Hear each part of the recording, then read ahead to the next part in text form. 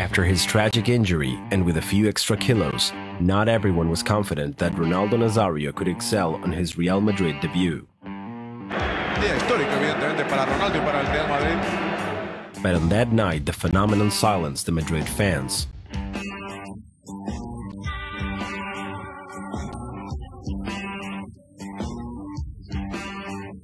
The Brazilian arrived at Real Madrid with only one goal in mind.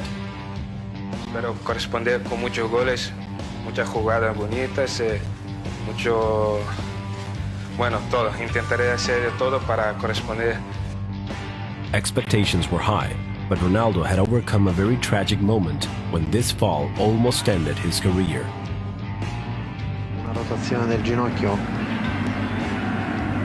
Ecco. Vedete che si è accartocciato su se stesso, si è fatto His smile had faded until this moment. Será la bomba. Se caerá el estadio. Se retiran. En plural, Portillo y Guti. Debut de Ronaldo. What R9 would do that night would be impressive.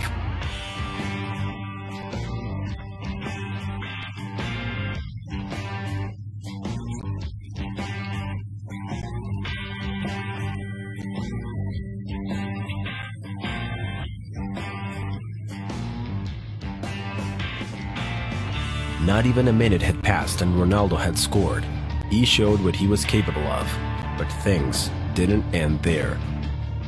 El quinto gol que puede marcar Ronaldo. Que va a marcar Ronaldo. Ronaldo marca el quinto y el segundo de su cuenta. Gol. Two goals on his debut. He was back. The phenomenon. It was the prelude to a successful comeback. venía tras una lesión importante.